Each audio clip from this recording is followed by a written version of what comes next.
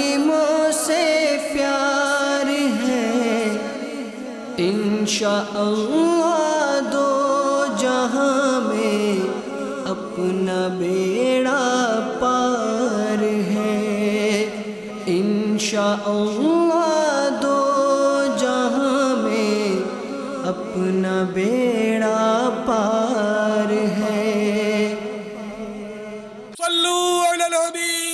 सल्लल्लाहु मुहम्मद मुझे अपनी और सारी दुनिया के लोगों की सलाह की कोशिश करनी है।